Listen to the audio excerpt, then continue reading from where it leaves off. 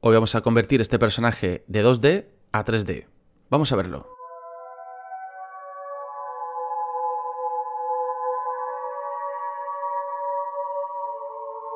Muy buenas a todos creadores y bienvenidos una vez más aquí al canal de MV. Hoy vamos a hacer un tutorial como siempre facilito, ya que bueno, últimamente también nos hemos estado enreando demasiado con algunos tutoriales. Este será rapidito, facilito y con un acabado espectacular, sobre todo para la gente que trabajáis en, vectores, que trabajáis dibujos, eh, animaciones en, en 2D y os interesaría traerosla a Blender pero convirtiéndola en 3D. Es una técnica que yo he utilizado en algunos trabajitos y una técnica muy interesante, parecida a la que utilizamos cuando hicimos el logotipo de 2D vectores, de 2D vectorial a 3D, pero utilizando otra técnica diferente que nos vendrá mejor, sobre todo si queremos modificar posteriormente, dentro de Blender, nuestro personaje. Está más dedicado al tema de los personajes porque tiene algunas modificaciones que nos vendrá muy bien. También se puede utilizar para los logotipos. Dicho esto, os invito como siempre a suscribiros al canal, si no lo habéis hecho ya, a darle a like y a compartirlo para que sigamos aprendiendo juntos. Bien, el dibujo vectorial mm, lo tendréis que tener ya un poco controlado si queréis trabajar en este, en este mm, en este tutorial. Se supone que ya sois gente que esté trabajando en, los dibujos vectoriales, si estáis viendo este vídeo y si os interesa. Si no, podéis dejarme en los comentarios y podemos hacer algún especial sobre mm, dibujo vectorial, simple por ejemplo, para ir trabajando un poco el tema. Bien en Inkscape o bien en Illustrator, donde donde mm, os guste más. Tenéis que eh, saber también que Illustrator es el más utilizado, pero es de pago, y Inkscape mm, no, es, no, no, no, os creáis que es eh, más malo, eh, es simplemente es gratuito y es un, es un, pedazo de software. De hecho, este dibujo lo he hecho en Inkscape. Vamos a ver, el, por ejemplo, el dibujo, lo tengo aquí en Illustrator. El, el, dibujo y también lo tengo aquí en Inkscape para que veáis. Es un dibujo lo más simple del mundo, no he querido hacer algo complicado ya que si le metemos más detalles al dibujo, habría que trabajar más el, proceso y no lo veía necesario porque lo importante lo vamos a ver con, esto, con este muñeco tan simple. Es un, es un, personaje muy simple que, que, he realizado. Lo voy a poner un poquito porque parece que está un poco cojo que es un personaje simple que, he realizado rápidamente en, Inkscape para llevárnoslo a, Blender. Vais a ver que el resultado, bueno, ya lo habéis visto al principio, el resultado es muy bueno y se puede hacer muchas cositas, incluso animarlo, pero bueno, eso no lo vamos a ver hoy aquí, vamos a ver cómo poder modificarlo dentro de, Blender y cómo eh, llevarlo, llevarlo a Blender. Simplemente si estáis en Inkscape, eh, con que le deis a guardar el, formato, ya directamente se, se os va a guardar en el formato SVG, muy importante, aquí arriba a la izquierda lo tengo, dibujo.svg, es el formato que tenemos que utilizar para que Blender lo entienda bien. Y si estamos en Illustrator, pues nos vamos a, guardar como. Y eh, en guardar como no, no, hay que darle a exportar, en guardar como tenemos varios formatos y uno de ellos es el, el .svg. Importante tenerlo guardado en este formato para que Blender lo entienda bien. Bueno, pues dicho esto, nos vamos a, a, Blender, le damos a la tecla A y eliminamos a nuestro compañero el cubo y sus amigos y le damos a File, Import y vamos a SVG, que lo tengo aquí. Buscamos el archivo, yo lo tengo por aquí guardado, donde lo tengáis guardado el archivo, por supuesto, y le dais a importar. Os aparecerá aquí en pequeñito, muy pequeñito. Le damos a la A y a la S para ponerlo bien grande. El punto, veis que se os, aparecerá el punto centrado y el personaje en, una posición diferente. Para hacer esto, para tenerlo todo bien en su sitio, le damos a Object y le podemos dar a Set Origin. Eh, aquí, le vamos a dar a Origin to Center of Mass. Y ahora em, podemos quitar el puntito este que nos aparece por aquí. Que yo creo que estaría aquí, el punto. Bueno, no aparece, no lo sé por qué. Bueno. Le damos a la tecla 7 para tenerlos desde arriba y le damos la tecla G para mover el personaje. ¿Veis? Aquí ahora sí me aparece el puntito por aquí, pero bueno, no pasa nada. Le damos a la tecla A y ahora le podemos dar a la, a la S para ponerlo bien grandote. Vale, vamos a ponerlo bien grandote y con la G lo podemos mover, ¿vale? Repito, el 7 para verlo desde arriba y con G lo podemos mover. El personaje se queda así, de esta forma. No os preocupéis por estos fallitos que están saliendo, que eso ahora lo vamos a, resolver. Yo lo pondría un pelín más grande, a este tamaño aproximadamente, ya que luego, a la hora de, ponerle los modificadores aquí y toda la, y toda la historia, nos vendrá mejor.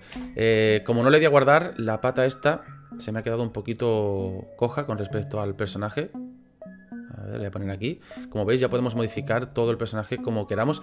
Y ahora vamos a ver cómo podemos modificarlo aún más. Bueno, pues ahora sí, vamos a la siguiente parte. La siguiente parte sería, vamos a ponerlo recto el personaje ya que está en el plano, está tumbado. Le damos a la tecla A y vamos a girarlo en el eje X, R, X, 90 grados. Y ya tenemos el personaje ahí. Le damos a la tecla 1 y con la tecla G podemos poner el personaje en la línea del suelo, que es esta, esta línea roja. Pulsando la tecla 1 tendremos el personaje ya puesto en el suelo, ¿veis? Vale, ahora vamos al siguiente punto. El siguiente punto es convertir este personaje en 3D, darle el toque este de 3D. Hay diversas formas y ya vamos a utilizar una de ellas.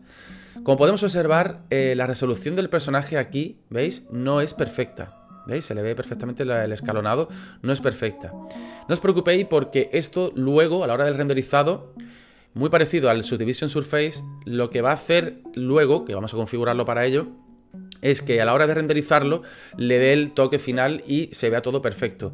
Digamos que la previsualización lo tendremos con un poquito de menos resolución, pero luego en el renderizado tendrá una calidad excelente. Bien, pues vamos a seleccionar ahora, con el botón derecho seleccionamos al personaje, por ejemplo, esta pequeña parte sí que parece una calabaza, la cabeza del personaje, cuerpo, cabeza-cuerpo, y la vamos, a, la vamos a anchar. Nos venimos a esta opción de aquí, que tenemos aquí, Object Data, las, propiedades del Object Data, y vamos a darle a mm, Geometry, eh, o la opción de 2D pulsada, Geometry, aquí. Y tenemos varias opciones. Una de ellas es Extrude, que es para mm, extrusar el personaje. Si le damos un toque, veremos que se ancha, ¿veis? Ya se está convirtiendo, ya estamos teniendo un personaje en 3D. Pero vemos que es mucho, aun habiéndole dado este tamaño grande, es mucho. Le vamos a poner 0,005, por ejemplo, así. Podría valer de esta forma.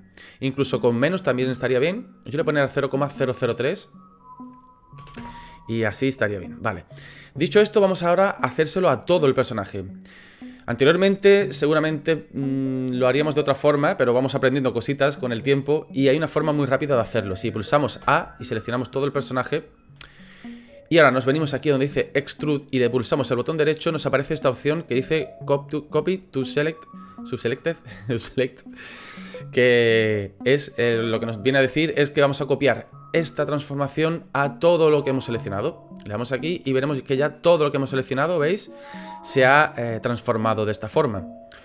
Ahora sí, yo al cuerpo podía darle un poquito más de, anchura o menos, ya que se sigue, se sigue viendo de esta forma. Pero vamos a ver que es muy fácil todo lo que vamos a hacer.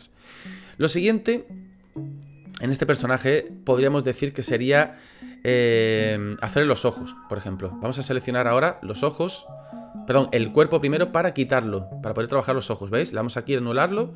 En esta opción seleccionamos el cuerpo, simplemente lo seleccionamos el botón derecho y le damos aquí a taparlo con el ojo. Ya el cuerpo sigue ahí, muy importante, sigue ahí cuando lo simplemente estamos tapándolo de la previsualización y, y de esta forma podemos trabajar los ojos mejor. Bien, tenemos esta parte del ojo, esta otra, esta y esta. Bien, hemos seleccionado estas cuatro partes y le damos aquí a moverlo. Lo vamos a echar un poquitín más adelante, ¿veis? Un poquito solo.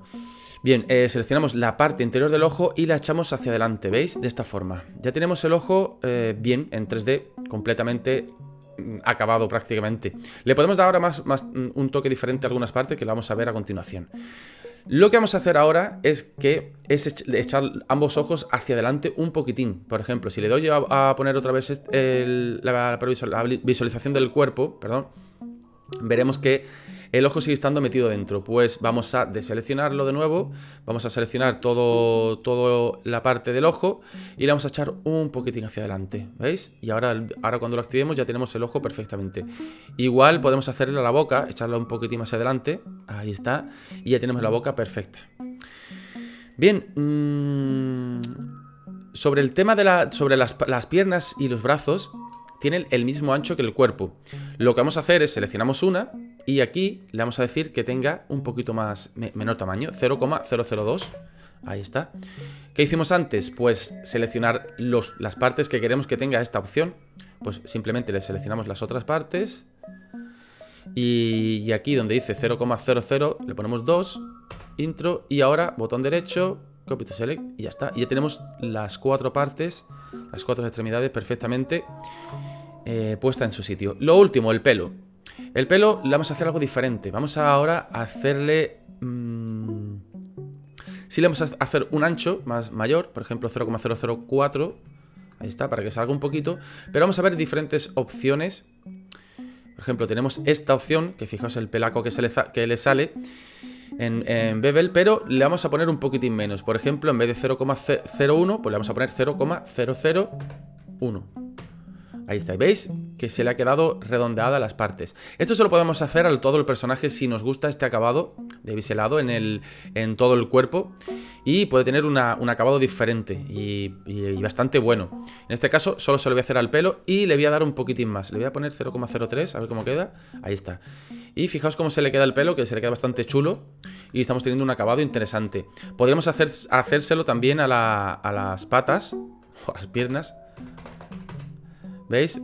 Pero claro, ya se está hinchando, ya habría que cambiarle, cambiarle el, el, extrude y habría que tocar un poquito algunas cositas, pero el, el, acabado que queda es muy bueno. Yo no se lo voy a hacer en este caso, como he dicho. Y listo, ya tenemos el personaje prácticamente, prácticamente listo. Lo que habría que hacer es ahora lo siguiente. Fijaos lo que decía de los, del acabado. Vamos a acercar un poquito aquí y vemos el escalonado que tenemos aquí de previsualización que hace Blender. Si pulso el cuerpo y nos venimos a esta opción de aquí, a esta Resolution Preview, preview y en Render. Esto quiere decir que en la preview vamos a tener 12 si no me equivoco, si viene en 0 significa que va a utilizar la resolución de preview también para el renderizado. Es decir, lo que, el parámetro que tengamos puesto en preview será la calidad con la que veamos la previsualización y el, el, dato que tengamos puesto aquí en render será el que aparecerá luego en el renderizado. Y aquí es donde es lo interesante. Vamos a ir subiendo de 12 hacia arriba y vamos viendo, ¿veis? El cuerpo cómo se va redondeando y va quedando perfecto. Por ejemplo, si os viene bien, pues decir, mira, pues en 33 yo veo ya que está perfecto. Ya no se nota el escalonado y bueno, y, mi ordenador, además de 33, sé que a algunos equipos le cuesta un poquito más trabajo meterle más resolución en estos puntos. Pues por ejemplo, en este caso lo dejamos en 33, no en el previsualizado, el previsualizado lo podemos seguir teniendo en 12, pero le vamos a poner 33 en el render. Con lo cual, nos volvemos aquí de nuevo, vemos que en 33 está ya bastante bien. Y le ponemos eh, donde dice 33, le vamos a poner de nuevo 12 para ver el previsualizado bien y que nuestro equipo fluya bien. Y aquí entre, le ponemos 33. De esta forma, cuando rendericemos, se verá el escalonado, desaparecerá el escalonado. ¿Qué vamos a hacer ahora? Le vamos a seleccionar a todo, A, y donde dice 33, le damos botón derecho y damos a Copy to Select y ya está. Ya tendremos todas las partes, si seleccionamos cualquier parte del cuerpo, ¿veis? La pierna está en 33, el brazo en 33, el pelo en 33. Esto significa que ya cuando rendericemos desaparecerán este escalonado y tendremos una calidad, una calidad estupenda. Vamos a ponerle ahora un, suelo, le vamos a dar a, la, Shift A y sacamos un mesh, plane, un plano. Si, lo que os digo siempre, si el plano os aparece por ahí, por aquí, porque tengáis el punto en otro, punto, en otro lado, pues al G y lo tenemos justamente en el suelo perfecto. Le damos a la tecla S y ampliamos el plano. Ahí va, así vamos a ampliarlo bien, que se vea bien, ahí está, que se pierda, porque ahora vamos a hacerle un fondo oscuro y le vamos a poner unas luces y vamos a rematar todo el proceso. Bien, mm, y también vamos a comprobar que mm, no se ve escalonado a la hora de renderizarlo, muy importante, lo vamos a comprobar juntos. Bueno, dicho esto, le damos ahora a Shift A y vamos a sacar de nuevo otro plano. Este plano que está aquí, le voy a, lo voy a anchar. Lo tenemos aquí arriba.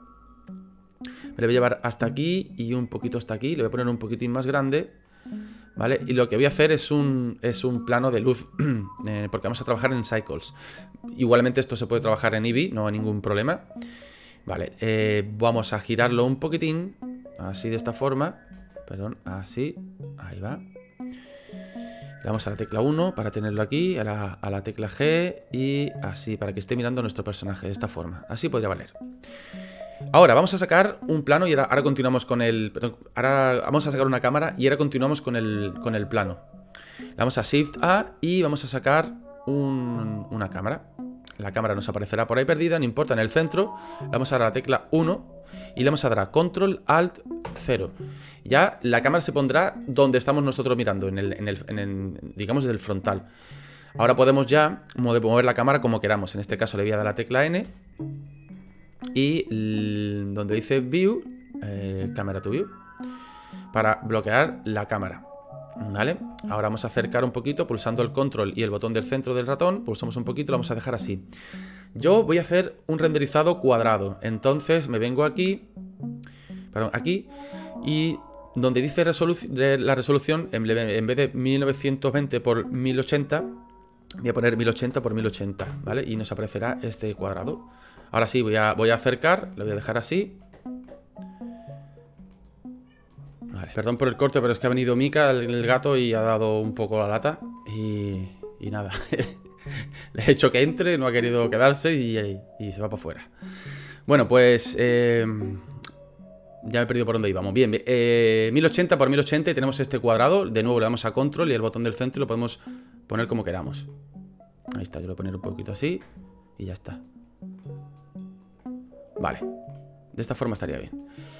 Ahora vamos a eh, vamos a Eevee, ah, perdón, a Cycles. Nos venimos aquí arriba, a la derecha. Y Cycles. Ahí está. Vemos que el personaje está oscuro, pero ya estáis viendo el acabadito que, va, obteniendo. Está oscuro, pero vamos ahora a darle luz. Eh, vamos a sacar una ventanita aquí a un lado. Vamos a la tecla N. Importante, si tenéis una GPU, activar la GPU. Eh, vale. Y aquí te voy a la tecla N para quitar esto. Y nos vamos a mover. Bueno, importante para movernos bien por el escenario ya podemos quitarle, si queremos que esta sea la cámara eh, perfecta, la que queremos final, le podemos dar a, cámara to view para quitarlo y ya nos movemos aquí como queramos. De esta forma, yo voy a acercar esto, a ver, lo voy a poner aquí. Ahí voy a quitar también look camera to view en esta ventana porque se queda también registrado en esta ventana. Ahí está, para poder ver bien cómo va quedando el personaje.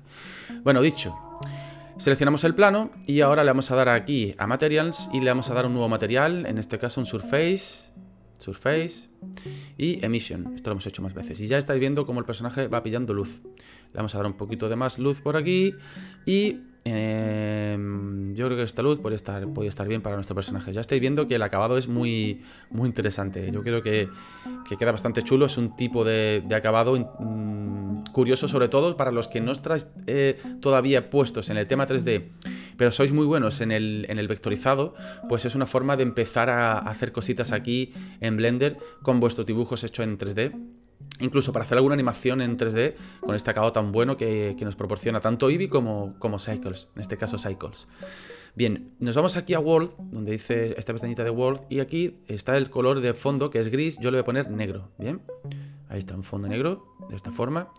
Vale, y ahora voy a eh, seleccionar el plano que tengo aquí lo voy a duplicar, Shift D, Intro, y me lo voy a traer hacia el otro lado y le voy a poner otro color. Lo voy a girar para que apunte al personaje.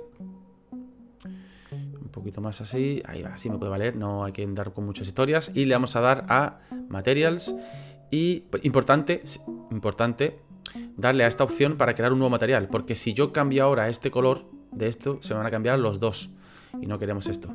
Así que le damos al nuevo material, aquí podemos ponerle mm, color, por ejemplo, la, mayúscula activada, no importa, y le vamos a dar, por ejemplo, un color, eh, este, por ejemplo. Le vamos a dar un poquitín más de fuerza, aquí le podemos dar en Straight, le damos la fuerza de, del color, la intensidad y si queremos incluso más a este. Y ya tendríamos a nuestro personaje eh, listo. Podremos ahora renderizarlo, pero antes vamos a probar una cosita que es interesante. Ya rematamos el tuto. Vamos a dar a la tecla 1 y vamos a acercarnos a nuestro personaje. Ahí lo tenemos. Imaginaos que el talón, o el pie, o el brazo, o el ojo, lo que queráis, no os termina de convencer y queréis hacerle una pequeña modificación al personaje pues no hace falta iros de nuevo a Illustrator o a Inkscape para modificar los vectores. Nos podemos seleccionar la pierna del personaje, por ejemplo en este caso, y le damos a Edit Mode. Y fijaos lo que aparece por aquí. Podéis modificar la pierna del personaje como queráis, Ahí lo vemos a la izquierda como, quedaría. La podéis modificar como queráis, el punto que queráis. Por ejemplo, si el, pie lo queréis cambiar un poquito, o queréis cambiar aquí en este caso la punta. Veis que esto la verdad es una maravilla porque no tenéis que salir eh, de, Blender para ir a vuestro programa de edición vectorial y hacer la modificación. Lo podemos hacer aquí de Blender. Esto es una de las mejores cosas que... Mm, de esta, de esta parte del tuto porque yo creo que es lo es esencial si hay algún cambio. Bueno, pues ahora vamos a hacer lo último ya, vamos a renderizarlo para que veáis cómo eh, han desaparecido, van a desaparecer, mejor dicho, estos, estos, mm, eh, estas partes rectas de, nuestro personaje. Igual aquí también desaparecerá, debería desaparecer. Vamos a comprobarlo. Para renderizarlo ya tenemos la cámara puesta, con lo cual se va a ver esta toma de la cámara y le vamos a dar a... Mm, le voy a quitar el ruido que ya lo hicimos en un tutorial y le vamos a repasar. Le vamos a dar a, aquí, eh, perdón, aquí y en, este, en esta opción de aquí, importante, View Layer Properties y le vamos a dar a mm, donde dice Denoising Data. Pinchamos aquí. Una vez tengamos esto, nos vamos aquí a la, pestañita de, composting este que tenemos aquí, le vamos a usar los nodos, vamos a separar esto un poquito, seleccionamos este, lo separamos un poquitín y le vamos a Shift A. De esta forma nos saldrá este menú y le vamos a poner eh, de noise y lo ponemos aquí. ¿Vale? Nos aparecerá puesto de esta forma, imagen, imagen, imagen, imagen. Vale, perfecto, pues nos vamos ahora. Es muy facilito y muy intuitivo este morado azul al, su color y el siguiente. De esta forma vamos a hacer que a la hora del renderizado mm, tengamos un reductor de ruido. Lo voy a renderizar a, por ejemplo, a 70. Aquí, esto es la calidad de renderizado que queremos. Pero como tenemos un denoise, pues con 70 yo creo que me puede funcionar bien. Y le vamos a dar, voy a quitarlo por aquí, y le vamos a dar a renderizar. Render imagen y vamos a ver cómo va renderizando nuestro, nuestro personaje en Cycles. Ya podemos ver, no hace falta que termine de renderizar, que se ha redondeado todo el personaje. Fijaos el pelo, que es lo que os decía, que ha quedado perfecto. Y ya el denoise ha entrado y se ha quitado completamente el ruido. Pues de esta forma vemos, fijaos aquí, lo podemos comprobar bien, el, el, pico, que aquí no aparece. Fijaos la curva, que aparece perfectamente, que aquí no aparece. Aquí tenemos esto. Eh, ¿De qué nos sirve esto? Pues que rendericemos con una fantástica calidad y para los que tengáis ordenadores más, eh, veces más flojitos, más pequeñitos, pues podáis seguir trabajando eh, con una resolución un poquito más baja para que vuestro equipo funcione bien y luego tener una buena calidad. Bueno, pues dicho esto, esto sería el final del tutorial de hoy. Un tutorial sencillito, con un acabado muy, muy bueno. Para mi gusto es un acabado espectacular. Ojalá tuviera yo esto hace muchos años cuando me dedicaba a hacer animaciones en 2D. Me hubiera encantado poder trabajar de esta forma y hacer este acabado. Si es verdad que a la hora de renderizar pues si vamos a, utilizar Cycles va a tardar mucho, pero podemos trabajar en Eevee, que es muchísimo más rápido y aún sigue teniendo ese toque 3D tan característico y tan bueno que nos, da, que nos facilita Blender en ese motor. Bueno, pues nada, eh, muchas gracias por estar aquí, os invito a suscribiros al canal si no lo habéis hecho ya, a darle like y a compartirlo para que sigamos aprendiendo juntos. Espero tener un like ahí abajo de vosotros y un comentario interesante que siempre me lo proporcionáis. Eh, no, no, olvidéis enviarme los trabajitos, no, no, no estoy contestando porque me están llegando mucho, lo estoy almacenando todos. Y ya os contestaré cuando empiece a hacer el trabajo, cuando, cuando vaya a hacer el, trabajo de los creadores, el vídeo de los creadores, contestaré esos correos y os diré, mira, ya vamos a empezar a hacer este trabajito, estoy mm, ordenando todos los trabajos y pronto lo tendremos. Así que de enviarme al, al correo los trabajitos que hagáis del canal para tenerlo organizado y para el futuro vídeo de los creadores donde podemos compartir vuestros trabajos con los demás creadores del canal.